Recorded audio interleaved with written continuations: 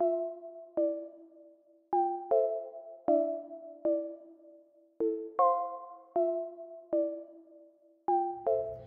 you guys, so I just got out of the shower, but I did wake up really early today. Today is like a super gloomy day. I woke up really early and I went and got my nails done. Um, I didn't film that for you guys just because me and my sister were running late for our nail appointment so I didn't want to be late. But basically all I did was wake up, get my toes done for the first time since I got my toe shortening surgery. And then I got my long nails taken off and I got these short nails. So I just got my real nails painted because I am getting my nose done in a couple of days. So I don't like having long nails done when I get surgeries.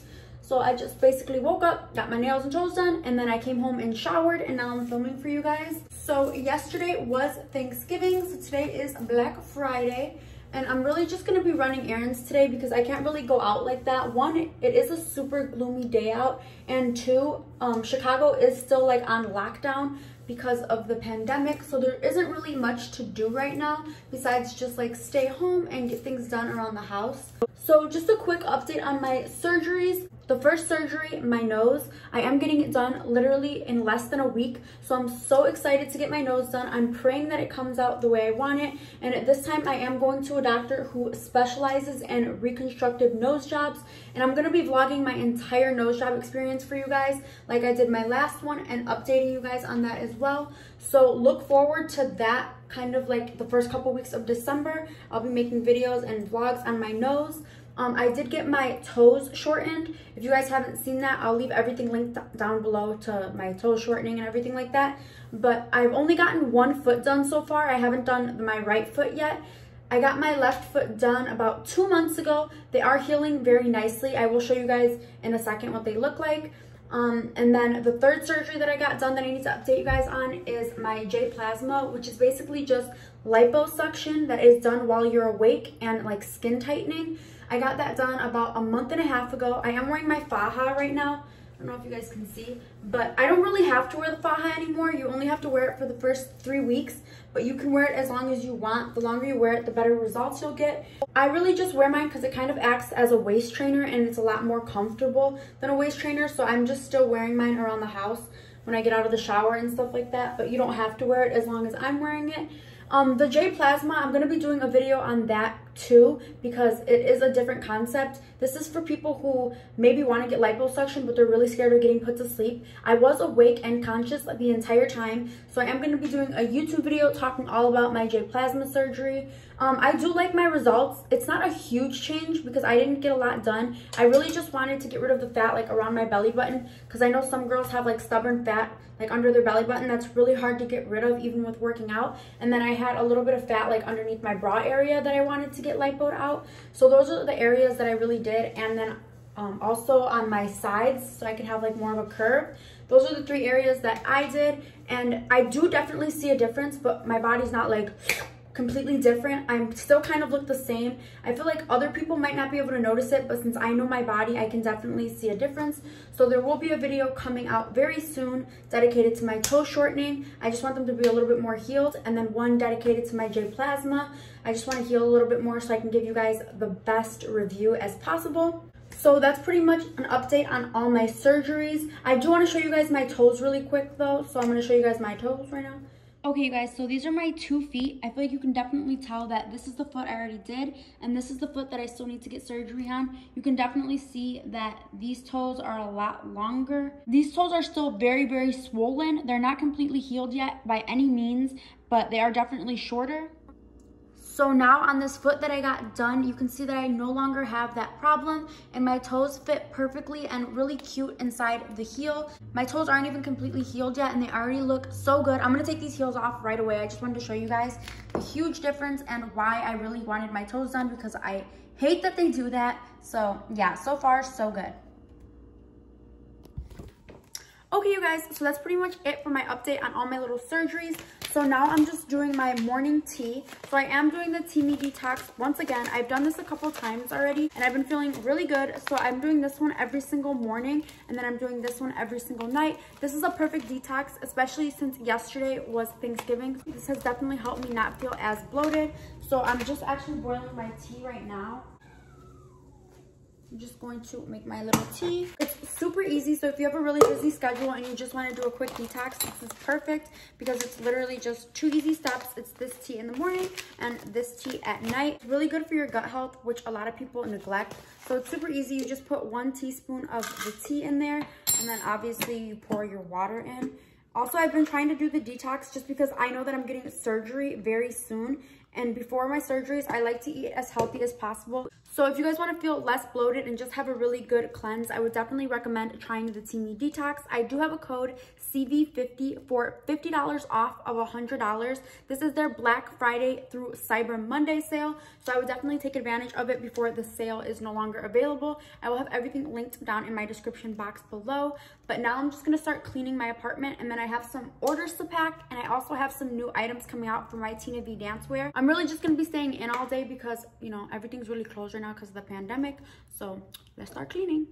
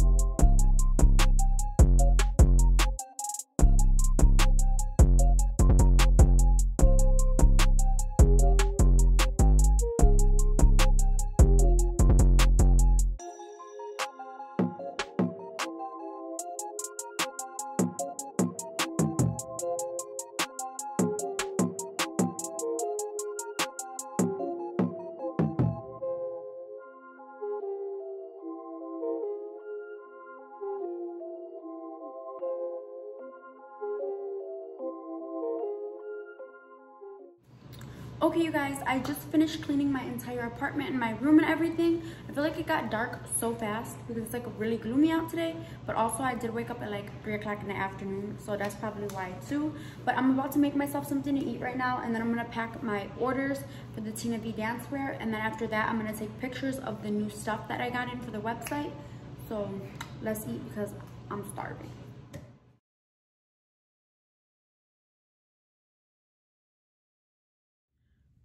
Okay, you guys, I'm just packing my little orders right now. I actually only have three orders to pack. Usually I have a lot more, but I've been doing the orders every single day or every other day just because I found that if I wait like a week or like a, too many days to pack my orders, then it gets to be like an overwhelming amount of orders and I'm doing everything by myself. So if it's like a lot, then it's just kind of hard for me to do all of them at once. And especially because I want the shipments to get out to people as soon as possible. So I just like to do them every day or every other day. So I only have three of them to do today. So I'm just going to pack these really quickly and then I'm going to go take pictures with the mannequin of the new outfits for the clothing line. I actually took all the pictures that are on the website myself in my living room. I'm going to show you guys how I did that in a second when I'm done packing these orders. But yeah, I'm just going to do this and then go take the pictures of the new pieces for the Tina V dancewear. So let me get to packing.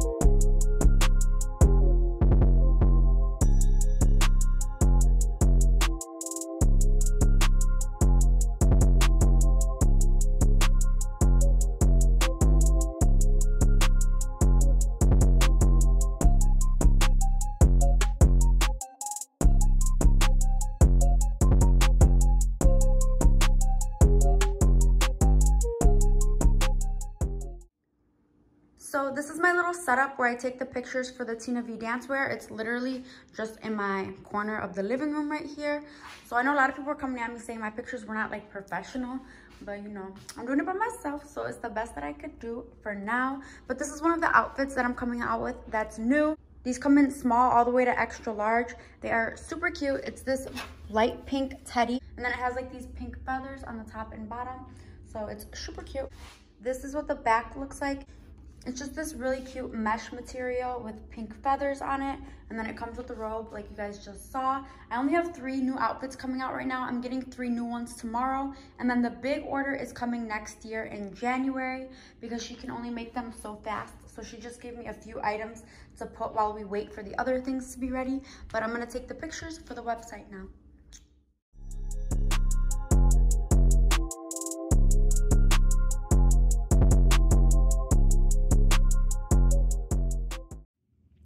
Okay, you guys, so I just finished doing all my errands around the house and everything. Now I'm gonna make my nighttime Teami drink and just drink it and relax and watch some TV and go to sleep. So that's pretty much it for like the day in my life on quarantine and like updating you on all my surgeries. So if you guys do want to try Teami, you can get $50 off of a $100 purchase, which is a super good deal. The deal is only going to go on from Black Friday to Cyber Monday. So if you guys want to get some Teami and detox during this time, check out my link down in the description below. But I hope you liked this video. And if you did, please give it a thumbs up and subscribe to my channel. Thank you.